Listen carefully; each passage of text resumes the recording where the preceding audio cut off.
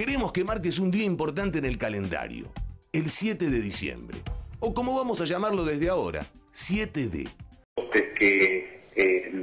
en los considerandos se establece que la medida cautelar que impedía la aplicación del artículo 161 para el grupo monopólico Clarín eh, pierde su vigencia a partir del 7 de diciembre del 2012.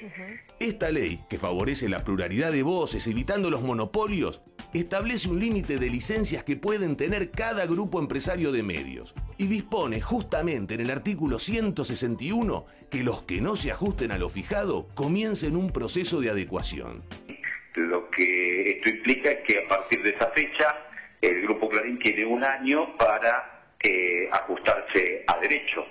El 22 de mayo de este año, la Corte Suprema de Justicia determinó la vigencia del artículo 161 y fijó el 7 de diciembre, el 7D, como fecha límite para cumplir con la ley. Así que Clarín, a partir de esa fecha, empieza a correrle el año